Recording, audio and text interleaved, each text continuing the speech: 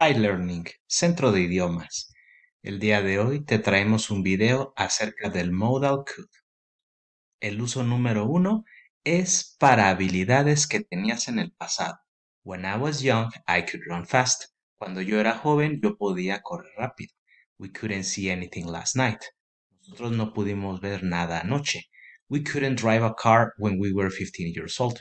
Nosotros no podíamos conducir un auto cuando teníamos 15 años. You ride a bike when you were 8 years old? ¿Podías andar en bicicleta cuando tenías 8 años de edad?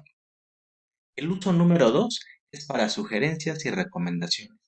We could go to that new restaurant. Nosotros podíamos ir a ese nuevo restaurante. They could visit the museum next weekend. Ellos podrían visitar el museo el próximo fin de semana. El uso número 3 es para permisos. Could I use your laptop? ¿Podría usar tu laptop? Could I have a glass of water? ¿Podrías darme un vaso con agua? Y el uso 4 es para pedir favores. Could you help me please? ¿Podrías ayudarme por favor? Could you turn off the air conditioner? ¿Podrías apagar el aire acondicionado?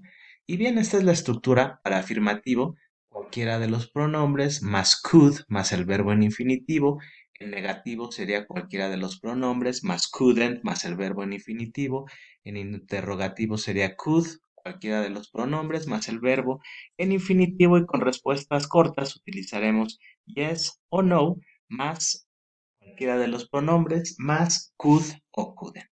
Bien, eso sería todo por el día de hoy. No olvides darle like a este video, comentar, suscribirte a nuestro canal y por supuesto seguirnos en nuestras redes sociales. Nos encuentras como High Learning en Facebook, Instagram y TikTok. Hasta luego.